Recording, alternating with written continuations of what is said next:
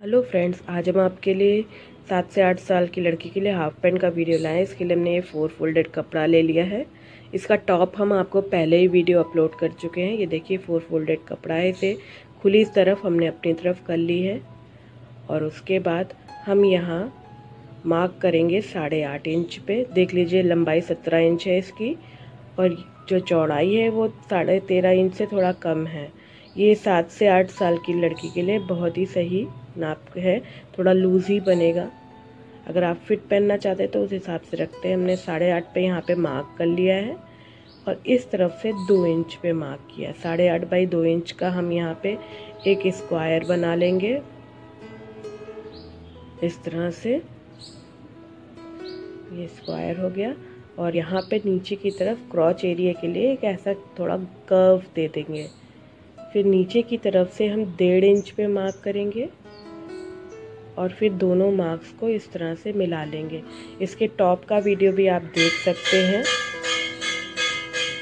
अब हम इसे कट कर लेंगे इस तरह से। दोनों ही हिस्सों को। ये हमारी कटिंग लगभग पूरी हो गई। अभी हम जेब के लिए कपड़ा काटेंगे। उससे पहले हम आगे और पीछे के दो दो पल्लों को अलग कर लेंगे। थोड़ा सा इस तरह से हमने एडजस्ट किया है कि आगे के पल्ले लगभग एक इंच छोटे होते हैं। तो दो पल्ले इस तरह छोटे हो गए, दो पल्ले बड़े हो गए। अब ऊपर से भी हम यहाँ से कट कर देंगे दोनों पल्लों को, जिससे दो हमारे आगे के पल्ले और दो हमारे पीछे के पल्ले हमें इस तरह से मिल गए हैं। ये हो गया। इसके बाद हम यहाँ जेब लगाना चाहते हैं सीधी साइड में। उसके लिए हमने एक ये कपड़ा लिया आप छोटी जेब चाहें तो इस तरह से छोटी जेब रख सकते हैं, आप बड़ी चाहें तो बड़ी रख सकते हैं। ये आप पे ऊपर है। हम आपको दिखा रहे हैं कि हम आप यहाँ पे कितनी बड़ी जेब लगाएँगे और किस तरह से लगाएँगे। तो हम जेब के लिए इस तरह से हमने कपड़ा रखा। इतनी बड़ी जेब हम लगभग लगाएँगे। तो आप देख लीजिए, इसकी लंबाई कितनी होगी? ये नौ इंच की लंबाई होगी और जो चौड़ाई है वो भी नौ इंच है। यहाँ से हम कपड़ा यूँ कट कर लेंगे। इस तरह से हमारा ये कपड़ा हो गया। डबल है ये भी। आपने देखा होगा, यहाँ कर्व दे के हम इसे टाकेंगे। कैसे वो अभी देखिएगा। इसके अलावा हमें कुछ पट्टियाँ काटनी होंगी और झालर काटनी होगी। यहाँ ऊपर के लिए हम झालर लगाएँगे। उसके लिए इस बचे हुए कपड़े में से थोड़ा तिरछा सा कपड़ा काटेंगे, वो दिखाते हैं। तिरछा से कपड़ा काटना है, वो इस तरह से है। इसकी जो चौड़ाई हमने ली है, ये हमारी साढ़े बीस इंच लिए थोड़े हम प्लेट्स देंगे। इस तरफ़ से लंबाई पंद्रह इंच है और इस तरफ़ से पाँच इंच है। पंद्रह इंच और पाँच इंच वाली लाइन को यूँ तिरछा मिला के कट कर लिया है। इस तरह से टुकड़ा हमारा बन गया है। इस टुकड़े के साथ हम जो झालर लगाने वाले हैं, उसके लिए चार इंच चौड़ी पट्टियाँ ली हैं, ये हम डबल करके लगाएँगे। दो पट्टियाँ ली हैं। इसको इस तरह से डबल करके फोल्ड करके यूँ प्लेट्स देते हुए इस वाले हिस्से पे यूँ लगाएँगे। हम एक ही जेब लगाएँगे इसमें।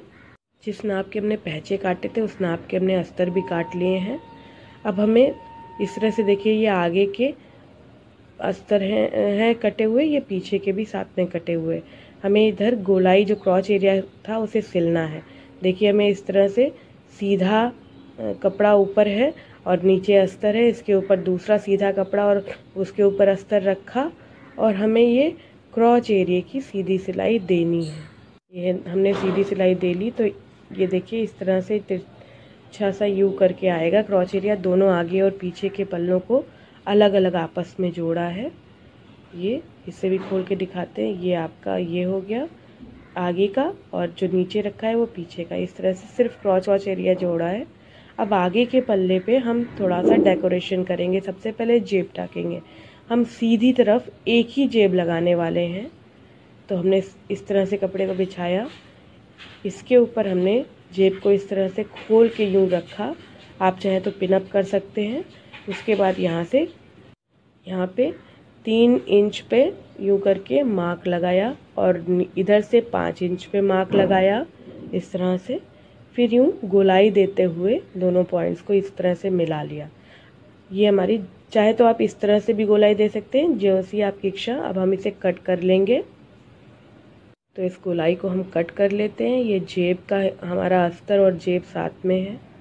ये याद रखिए, जेब का भी सीधा पल्ला ऊपर की तरफ़ है और ये भी ऊपर की तरफ़ है। अब हम यहाँ रख के यूँ सीधी सिलाई यहाँ पे जेब पे दे लेंगे।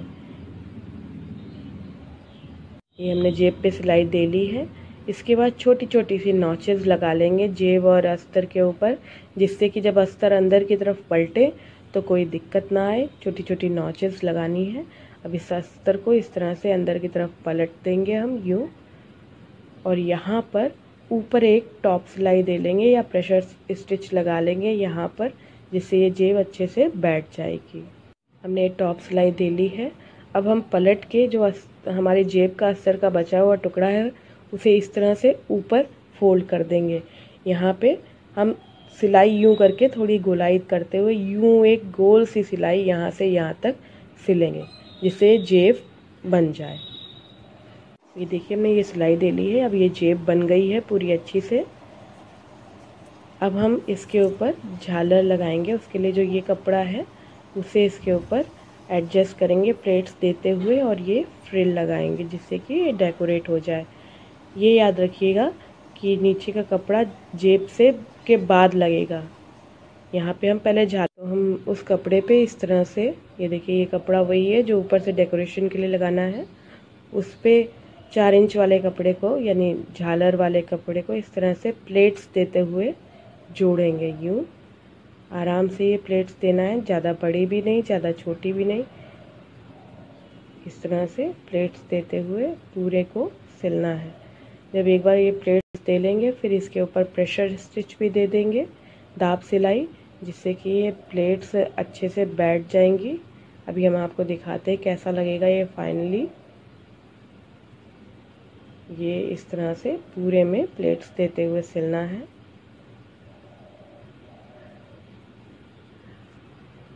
ये याद रखिएगा, सीधी तरफ़ हमें जेब लगानी है। अब यहाँ प्रेशर स्टिच दे तो चलिए इस तरह से फैला के प्रेशर स्टिच भी दे दी, जिससे कि ये पूरी प्लेट्स अच्छे से बैठ जाएँगी। बहुत आराम से यो, ये देखिए, इस तरह का लुक अब हमने जो ये बना रखी है, प्लेट्स इस पर लगाई है, इसे यहाँ पे जेब से पहले इस तरह से फिट करेंगे।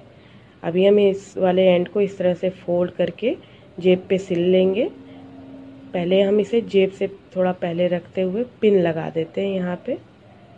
इस जगह पे एक पिन लगा ली और फिर फिर प्लेट्स जैसी आपको देनी है उस हिसाब से रखते हुए यहाँ पे प्लेट्स देंगे। आप अपने मन से जितनी चाहें दे सकते हैं। हमने ये साढ़े बीस बीस इंच का कपड़ा इसीलिए रखा था जिससे हम प्लेट्स दे पाएँ। थोड़ा बहुत ज़्यादा नहीं रखा था हमने।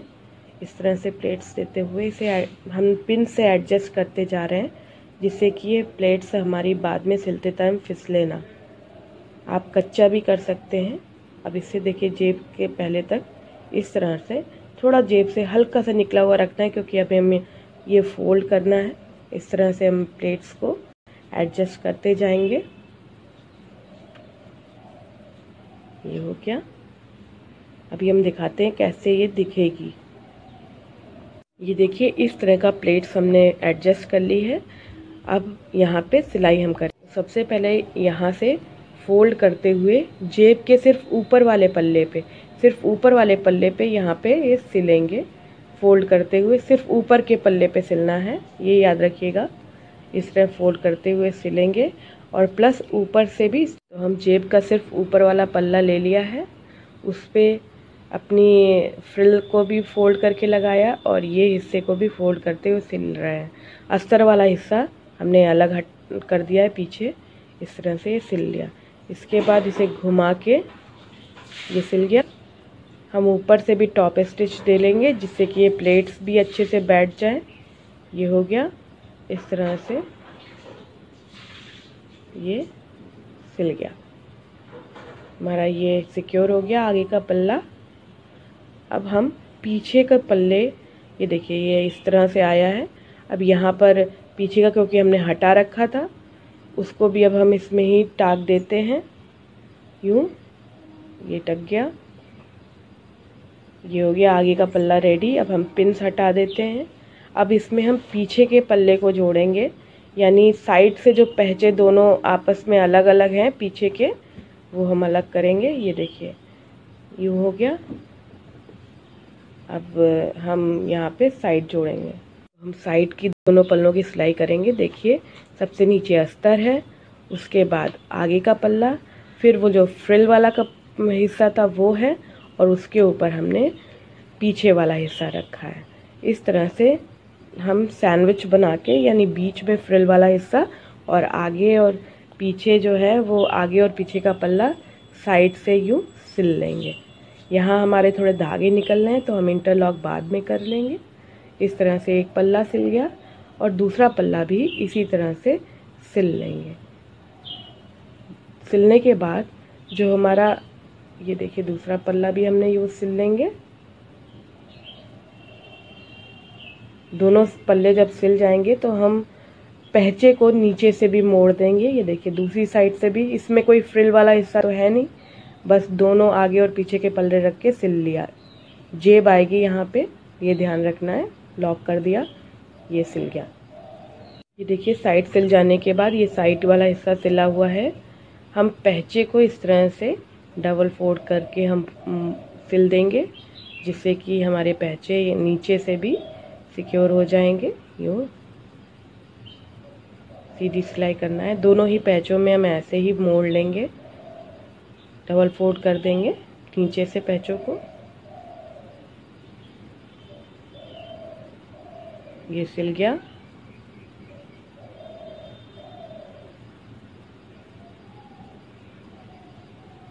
इस तरह से दोनों पैचों पे हमें करना है। हम आपको दिखाते हैं किस तरह का दिखेगा ये। इस पॉइंट के बाद इस तरह का लुक आएगा। देखिए, हमने सिल लिया है इसे। आगे से भी दिखाते हैं आपको। ये आगे से इस तरह से दिख रहा है। अब ये जो नीचे का खुला एरिया है। अब हमें इसे आपस में जोड़ना है तो हमने इसे उल्टा फिर से किया और दोनों पहचों को इस तरह से मिलाते हुए बीच में यूँ सिलाई देनी है, यहाँ से लेकर यहाँ तक। ये सिलाई देंगे तो लगभग लगभग पेंट रेडी हो गई है, नीचे से सिल लिया है हमने। ये देखिए, इस तरह से दिख रहा है ये। अब हम ऊपर की तरफ़ लास्टिक की पट्टी जोड़ेंगे। दो पट्टियाँ हमने आपस में यूँ जोड़ ली हैं। ये वही चार इंच वाली पट्टियाँ हैं। इसको अब हम यहाँ रख के एक पट्टी फोल्ड थोड़ा सा एरिया छोड़ते हुए इस तरह रख के हमें पट्टी बनानी है। तो हम सबसे पहले सीधा सिल लेंगे। ये हमने पट्टी इसमें यूँ जोड़ ली है। यहाँ थोड़ा बढ़ा के ही रखा है हमने, जिससे दिक्कत ना आए। एक तरफ़ देखिए फोल्ड है हमारी पट्टी, एक तरफ़ अब इसको इस तरह से फोल्ड करते हुए जहाँ सिला है उसी पे ही रखते हुए एक सिलाई और दे लेंगे, जिससे कि ये हमारी लास्टिक पट्टी मोड़ जाएगी और हम इसमें लास्टिक डाल लेंगे। आप चौड़ाई अपने हिसाब से रख सकती हैं इस पट्टी की, क्योंकि लास्टिक आपको कितनी चौड़ी रखनी है, ये आप अपने हिसाब से देख लीजिएगा। यहाँ से अब हम सीधी सिलाई देंगे, उसके बाद लास्टिक डाल लेंगे। यूँ। चाहे तो ऊपर से भी दे सकते हमने पट्टी मोड़ ली है। यहाँ पे हम बीच में भी एक सिलाई देंगे, क्योंकि हम दो पतली लास्टिक डालने वाले हैं। इस तरह का ये लुक आने वाला है। ये देखिए, ये है हमारे पैंट का फाइनल लुक इसमें लास्टिक और जेब हमने बना ली है। अगर आपको मेरा ये वीडियो ट्यूटोरियल अच्छा लगा हो तो इस वीडियो को लाइक कीजिएगा फैमिली और फ्रेंड के साथ शेयर करके। अगर अभी तक रेड बटन सब्सक्राइब नहीं दबाया है तो उसे दबा के बेल आइकन ज़रूर प्रेस कीजिएगा। Thank you